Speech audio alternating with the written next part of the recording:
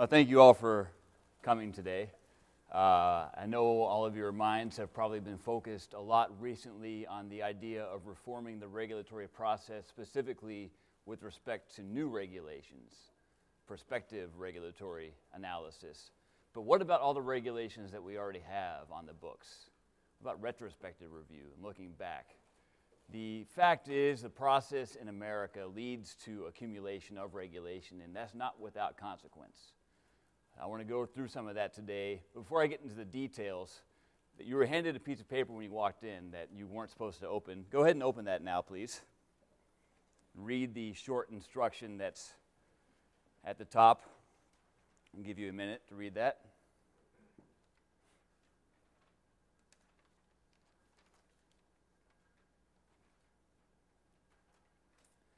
And now you're all eagerly awaiting the second slide. There it is. You also have in that piece of paper a colored card, colored piece of paper. And now I want to know uh, take that colored piece of paper. You're going to vote with that, although it's not a majority win situation. It's your opinion. Tell me, hold up your piece of paper if you think that is the letter B. Your colored piece of paper. Hold it up in the air if you think that's the letter B.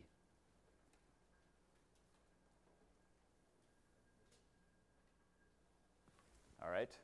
No one thinks that's the letter B. How about holding it up in the air if you think that's the number 13?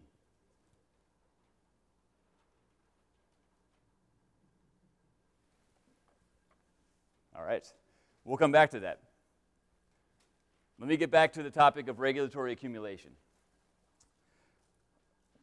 Regulatory accumulation is the, the it's, an, it's a symptom of a process that leads to the piling of regulation on top of regulation on top of regulation. The agencies and ultimately legislators respond to perceived crises in a way that makes them make a new regulation that will deal with it, but there's rarely any impetus, rarely much incentive to go back and get rid of old regulations that maybe been on the books for 10, 20, 30 years. This picture shows you that process. This is the number of pages published in the Code of Federal Regulations each year going back to 1975. Back in 1975, there were about 70,000 pages, roughly, uh, of regulation, federal regulation. In 2012, we had 175,000 pages of federal regulation. So it's just a consistent growth process. There's more and more regulation piled on top of existing regulation. Maybe that's benign, right? Is that necessarily something we need to worry about? I argue that it is a problem. And here's a few reasons why. First, by design, regulations restrict choices, they restrict what people can do. That's how they're written. The words like shall and must and may not that are included in regulatory text are foreclosing some choice that a person or a business or even the government could do. And so, by doing that, by foreclosing choices, uh, that's blocking off paths of innovation, blocking off possible actions of entrepreneurship. And that has consequence, as we'll see. Second, when people have to focus on following a set of rules that gets really long, 175,000 pages long perhaps, that takes attention, that takes time. That means that that attention and that time and those resources that are, that are dedicated to complying with rules and following rules or even just reading rules is not spent on something else. So this is a concern because if you're worried about, for example, risk in the workplace, and you have some manager of an, uh, an, assembly line in a factory who's worried about making sure that every single rule is being complied with, maybe that manager is not focusing on some new or more important risk that could be dealt with if he had the time and focus to deal with it. So it diverts attention away, perhaps, from more salient risks, more important risks. And then, third, from the agency perspective, if you, if you think that agencies, the regulatory agencies, are able to uh, deal, deal with some risks, are able to uh, address some problems, well, then you should be concerned about the fact that agencies have a bunch of old regulations on the books that maybe aren't effective or maybe are obsolete. Uh, you know, if you have, I used to work at the Department of Transportation, as was mentioned. There are plenty of regulations on the books that the Federal Railroad Administration recognizes as being perhaps not too important these days, but nonetheless they have to train their inspectors on every single regulation that's on the books. That's a waste of resources. So if we can get rid of some of those, you know, budget uh, agency budgets are, uh, are not growing very quickly these days. Agencies would certainly appreciate the ability to use their scarce resources at perhaps on more important risks. So on that first point, I said that innovation can be hindered. That is, regulation inhibits innovation, inhibits entrepreneurship. And the long run consequence is pretty substantial. There was a study released in the Journal of Economic Growth last year that calculated what the economy would look like if we had maintained levels of regulation that we saw back in 1949 and compared that to what the economy actually is now. And this is a graphical representation of that. The actual GDP in 2011 was $15.1 trillion. What GDP would have been without, with 1949 levels of regulation is more than three times as large. That's enormous. Right? That's huge. The per household income loss that this implies is something like $277,000 per household in annual income. It's enormous. Now, how do you get to such a big number? Let me show you. It's a bit of the miracle of, of compound interest, right? Uh, the growth of GDP is a, uh, a process that builds upon itself over time. This is, these two lines show you the actual GDP growth path, which is the red line, the bottom line, and then this hypothetical GDP growth path, the, the higher line that's blue. And this was again calculated in that study I referred to earlier. Here's how this works. At the beginning of this process, agent, uh, rules restrict the choices of entrepreneurs and innovators, the, the choices of firms, it could be governments. And as a result, resources are diverted away from things like maybe building up a new knowledge base, building new technologies, building new innovations. As those are diverted away, the effect is next year, if you start this in 1949, next year you can't build on top of that new technology. And every year after that, you can't build on top of that new technology. It's an exponential growth process at the end of it that is short, that is short-circuited by diverting resources away from innovation and away from development of new technologies. Let me give you a specific example of what I mean. You all drive, presumably. At least have ridden in cars many times in your lives. And so you know that uh, headlights, in America at least, have two states once they're turned on either high beams or low beams, and nothing in between. Doesn't have to be that way. Uh, but turns out there's a somewhat dated rule from the National Highway Traffic, NHTSA, National Highway Traffic and Safety Administration in the Department of Transportation, that specifies that headlights shall have high beams and low beams. Now, there are adaptive headlight systems being manufactured and sold and used in Asia and in Europe that have some sort of mixture of the two. So what's the point of high beams? What's the, what's, what are high beams, excuse me, what's the point of having low beams instead of high beams? It's so you don't blind an oncoming driver. All right, you switch to your low beams when someone's coming in the opposite lane facing you. And that has a good safety reason for it. But at the same time, when you switch to low beams, you're not able to see maybe a pedestrian who's walking on the side of the road. And so there's maybe a safety consequence to it. Ideally, what you want is a mixture of the two, maybe low beams for the oncoming driver, but high beams on the rest of the road. Well, there are systems that can do that. Systems that will dim where the oncoming car is, but then leave brights on for the rest of it. We don't have those here, right? You've never seen such a system in, in, a, in a car in America. Why? It's because we have a regulation that says we have to have high beams or low beams or nothing in between. And so that is a direct inhibition to innovation. That sort of innovation, the adaptive systems, could have been invented, manufactured, and sold in America, but they are not. So let me give you another story that sort of illustrates how all these various restrictions can lead to a cumulative effect. How a web, a nexus of regulations, if you will, can have a cumulative impact, not just a one on one impact like the last example was, but a cumulative impact on, on would be entrepreneurship. So in Logan City, Utah, over the last decade, uh, city planners, the city government, was considering a project that would involve installing what's called micro hydropower in the, uh, in the river that goes through their town. And this, this, this drawing depicts something like Logan. There was a river there that goes through the city, and there was actually already a pipeline that diverted some of the river uh, and went down through, just like in this drawing here, went back to the river eventually, but there was already a pipeline installed. Now, given that this pipeline is there and there's water running through it, it's got some pressure, what you can do is just put a wheel in there, put a turbine in there, have the, have the water turn that wheel, and then that can be converted into electricity. That's called micro microhydropower. It's a pretty simple process. It's a very environmentally friendly process, right? That's perfectly green energy if you can just put the wheel there without any consequences to the environment. That's what they could do. The building, like in this drawing, already existed. The pipeline, like in this drawing, already existed. All Logan was considering doing was putting a turbine inside that building. They estimated that the cost of this project would be about $1.5 million before they got into it.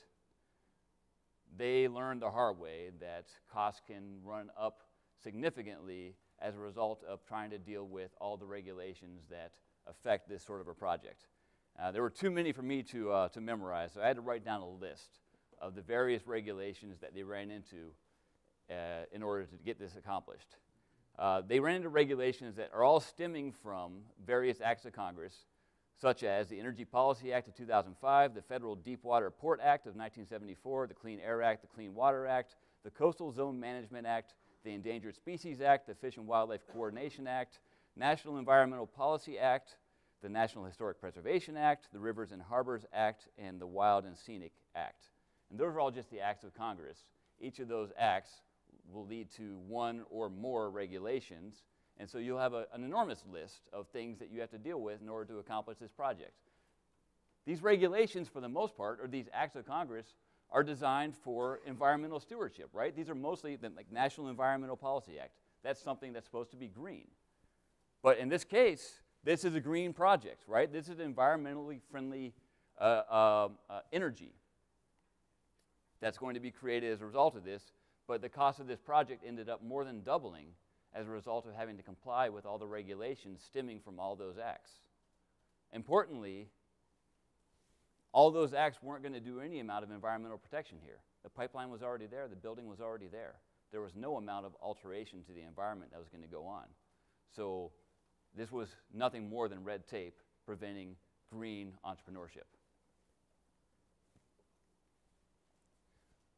So that idea there is we have this nexus, this accumulation of regulations that can cumulatively have a huge impact. Any one of those maybe wouldn't have been a big deal, but dealing with all of those together led to a doubling of the cost of the project. And I think it's easy to recognize that that's a problem, especially if those regulations, if those, those, all that red tape doesn't lead to any sort of benefits, as was the case there. There was no amount of environmental protection that came about as a result of all that. So then, if you recognize the problem, the next question is well, why do we continue doing it? Why does this occur? So I'm an economist. I tend to think about things in terms of incentives it gets me into problems at home often, but nonetheless, uh, I think this is appropriate here to think about incentives of actors who could affect this. First is the incentives of agencies, the, the regulatory agencies that make the rules themselves. I used to work at one, and I've spent my career studying them. Uh, and I think it's pretty intuitively obvious to say when an agency has a regulatory program and can show that it's making more and more regulatory programs, that agency is going to expect the budgets to, to enforce those programs or to create new programs. That agency expects to have employees and hire employees when it makes new regulations. In short, as regulations grow, so does the power of the agency. And the people at the top of that agency if they like power, if they like that prestige, if they like perhaps the promise of future income once they leave, we'll be happy to see that that growth occurs. And so there's incentive at the tops of the agencies to support a regulatory growth path as opposed to going back and getting rid of rules. There's also incentive in the rank and file at the, at the bottom level, the economists and the lawyers who are on the teams that make new rules. I don't know if any of you have ever worked in an agency, but you probably are familiar with the, the awards process that goes on in agencies. You get plaques and you get sometimes bonuses for being parts of various projects. Um, those typically are rewarded at when, when a team will make a new rule.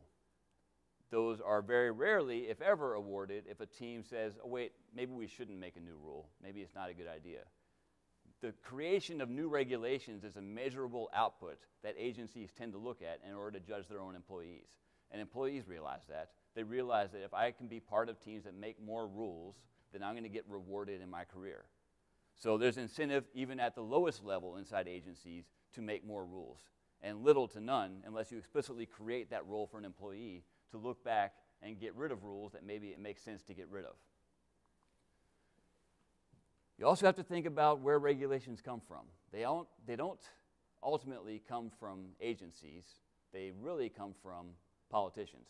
They come from acts of Congress. That list that I read, those are all acts of Congress that led to regulations created by agencies. But going back to it, every single regulation has some statutory authority, and that is something that a politician created. Politicians have incentive to respond to visible and present crises.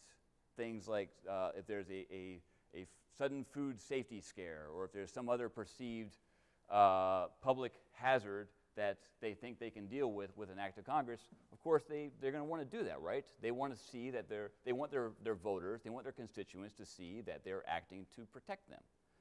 It's a very visible and present danger. On the other hand, something like regulatory accumulation and the consequences that it has on economic growth or on safety is much more hidden. It's much less visible. It's a lot harder to make the argument that what you're doing is going to serve your constituents if you're arguing for regulatory reform. So I would say that the incentives of politicians also push towards the creation of new regulations and don't push towards going back and reviewing existing regulations and getting rid of ones that make sense to get rid of. And then, third, I want to throw this out there incumbent firms, businesses, may actually have an incentive to keep regulations on the books. And so, a simple example here is if there is a set of regulations that um, required all factories to install some set of machinery that would maybe reduce pollution. All existing, all existing factories comply with that. They purchase the machinery, call it scrubbers on their smokestacks. Once they've done that, they've paid the cost. They've bought that machinery. And so now, suppose we realize looking back that that regulation wasn't a good idea. We didn't need those, we didn't need those scrubbers after all. There's better ways to accomplish this. Do you think that those factory owners are going to support getting rid of that regulation? Of course not, right? Because they want every new entrant, any new competition, to have to pay that cost as well. They want to keep that barrier of entry. That's a sort of moat around their business that protects them from new competition because new competitors would have to buy similar machinery. So the fact is, regulation can serve as a barrier to entry to incumbent firms.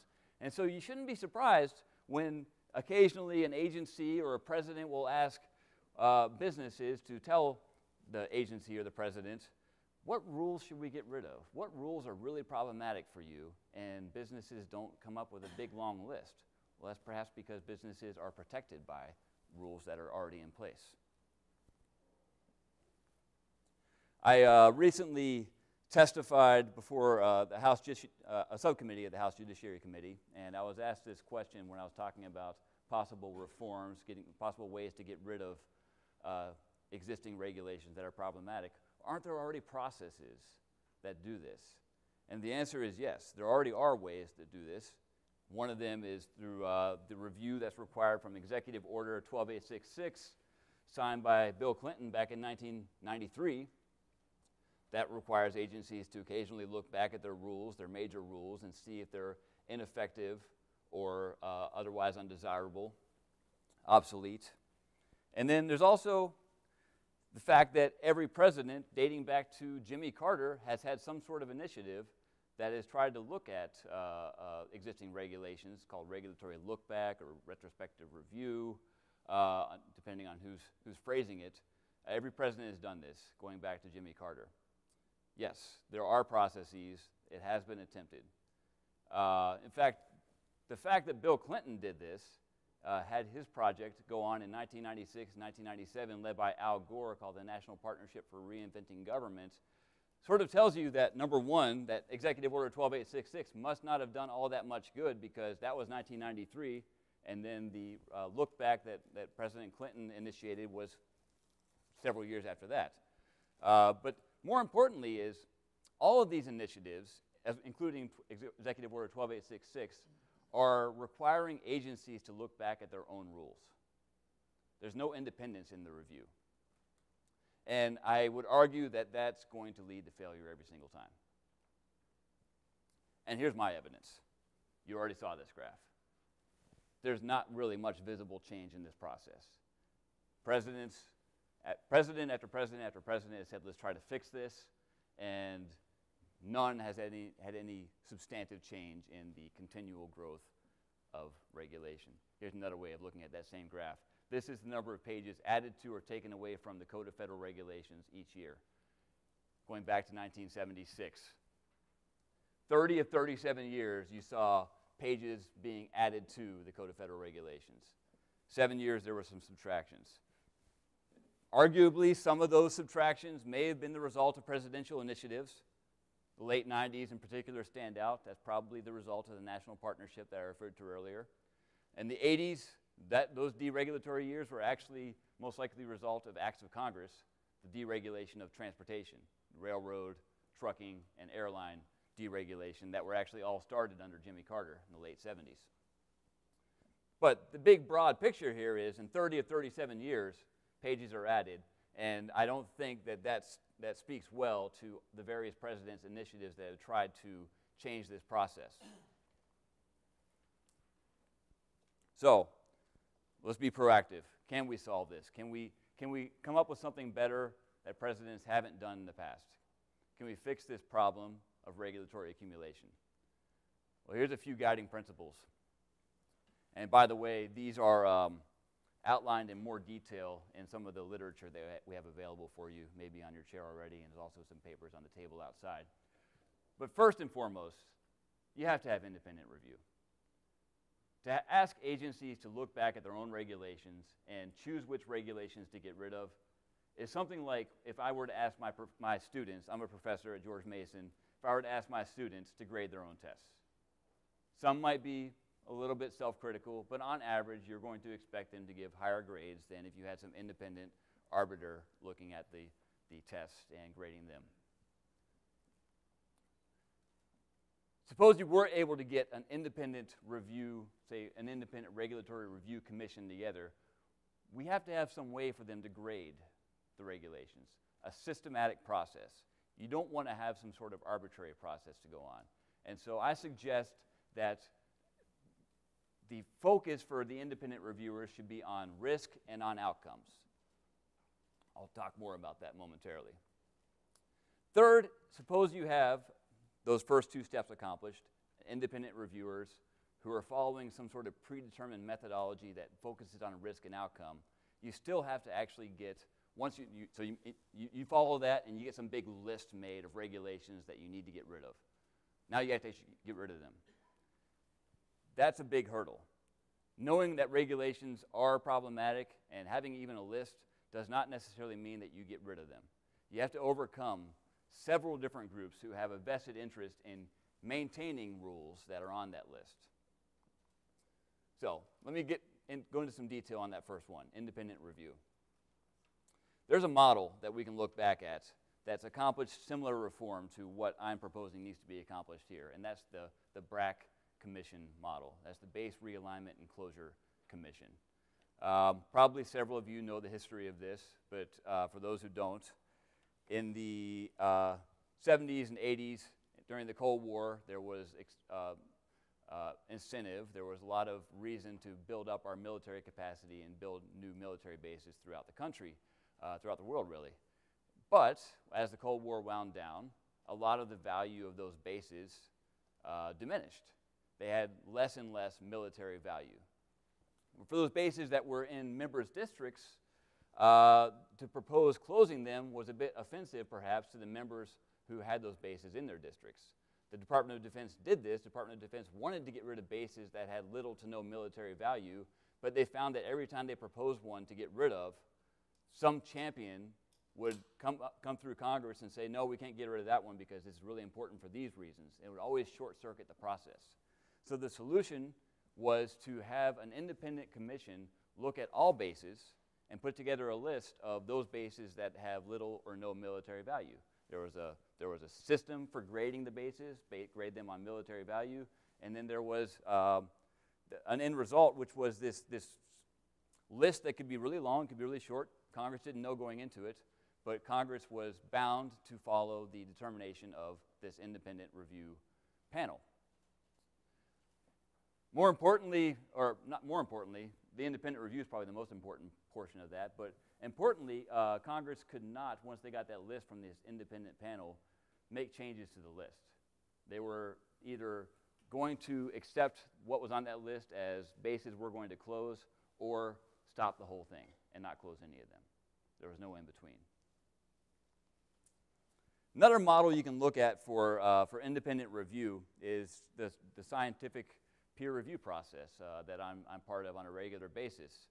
Um, when a scientist or a, a, researcher goes to publish his work in a scientific journal, in a scholarly journal, it's blind reviewed, meaning that if I send a paper off to be published, I take my name off of it, and I also don't know who's the reviewer, who the referee is. It's a blind, blind process that makes it so that those who are perhaps my friends or who believe what I believe can't just make it pass, can't just say, oh, yeah, Patrick wrote that. I'm going to make sure that gets published. Similarly, it, it removes the ability for people who have uh, an agenda it was against mine, perhaps, to, to, uh, to hurt my work. It's supposed to be blind, it's supposed to introduce independence into the process, and over time, I'd argue that it does work. Which takes me back to this. So, you were all handed a piece of paper that said you would receive a door prize. Some of you, it said you would receive a prize if this was the letter B. And some of you, it said you would receive a prize if this was the number 13. Now, this can obviously be interpreted either way. It's a bit of an ambiguous figure there. But you put some context around it it becomes clear that that was actually the letter B. Or you put some context around it, it becomes clear that that was actually the number 13. The context is important here, and the lesson for the context part of this is agencies view problems within a certain context as well. Agencies are created with a mission, and whatever they see, be it a 13 or a B, they interpret within the lens of that mission they're created with. But then a second part and the part that relates to independent review here is what if it's ambiguous? What if it's a 13 and a B? Which, by the way, it's a 13 and a B, so no one actually won the prize because it's both at the same time. Well, if you have incentive to interpret things one way or the other, maybe you're going to act upon that incentive. If you get reward, if there was a substantial prize, if I'd promised you, well, I guess there's, there's restrictions on what I can give you because you're federal employees, but if there weren't restrictions and there were substantial incentive for you to vote one way or the other, maybe you would have. And that same logic applies to agencies. When there's, when there's incentive for an agency to look at an ambiguous finding or an ambiguous result and interpret it one way or the other, you should expect them to, to act to respond to incentives. After all, Agencies are composed of people, and people respond to incentives. So, independent review is key. Now, suppose you could do it. How should you go about doing it? Suppose you had an independent review commission doing it. What sort of rubric should they follow? Here's a couple of tests that I suggest. The first one is uh, what I call the first test of, non-function, of functionality, and that's focused on risk. And there's two parts. In fact, I think probably all important ideas can be summarized in a two by two matrix. So I tried to do that here. The first question to ask is Is the regulation, is the rule that's being reviewed addressing a significant risk? Significant means a risk that's widespread, affects a large number of people, and has serious consequence. There are rules that maybe address uh, a serious risk for only a very small group of people or maybe even one person, that would probably not be significant. You have to set up some criteria. Or rules that address a non existent risk for a large group of people or a very small risk for a large group of people, maybe that's not significant either. That's the first part of this test. The other part of this test is to look at whether that risk that the rule is trying to address is current. And this goes to the fact that risks change perpetually. What was a risk 50 years ago may not be a risk now. And so rules can become obsolete because they were designed to address what was a current risk, but the risk, risk is no longer current. So the second question is Is the risk, if there was a real risk that's being addressed, still current? If the answer to either of those is no, then you have a non functional rule. Then you go on to the second test. This one, also broken down into a nice two by two matrix, is the second test of non-function or functionality related to outcomes. Outcomes is key. Outcomes is incredibly important and often ignored in, in the regulatory process. By outcomes, I mean what most people think about as benefits.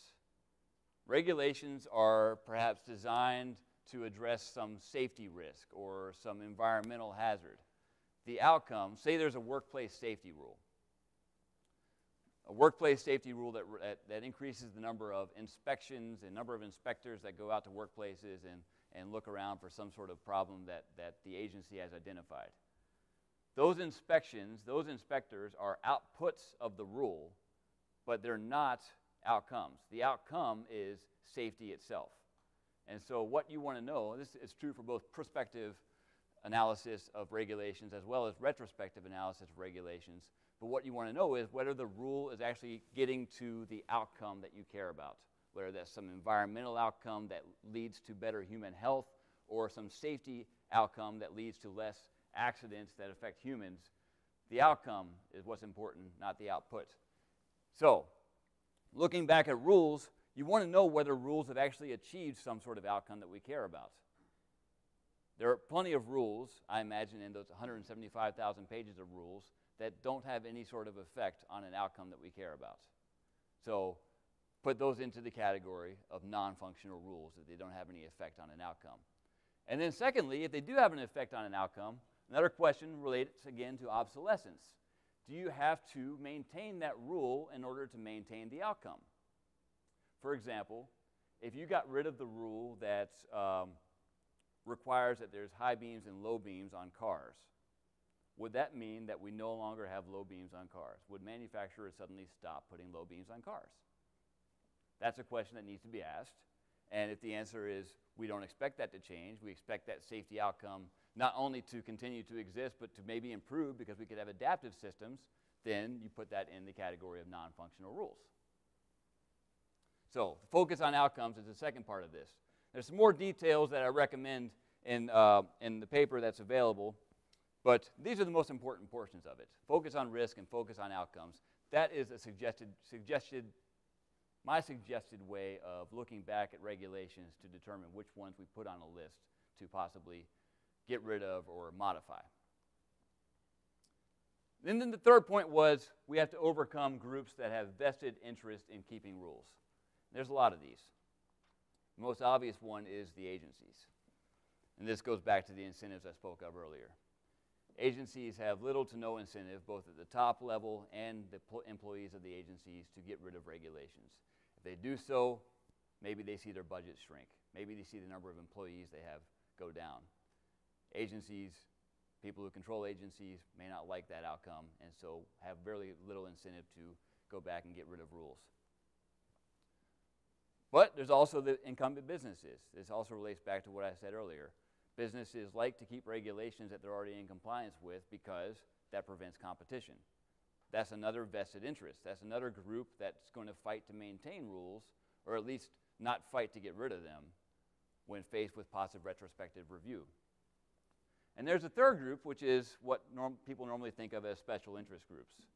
Um, I mentioned I'm a professor and there's a lot of change going on in the way that education and the contents of courses is delivered to students. Now you can circumvent a school entirely and learn about a subject by going online and taking a course online. So a professor can speak to a million people at once or teach a million students at once instead of just 20. Now I have a vested interest in maybe not letting that change and maybe trying to maintain that maintain rules if there are any that require face to face instruction, maybe to get some certain license or some certain degree, because that means there's more jobs for me more availability, more demand for my services. So that's an example of a, of a, of a interest group, a teachers group perhaps, that's going to fight to maintain a set of rules that benefit them. All these need to be overcome if you're going to have successful reform. So you make that list, with, you have the independent review commission make that list following the set of uh, tests that I gave you, and then you have this final obstacle. Well, the way, to, I, the way I would suggest doing this is the way that the BRAC Commission did this.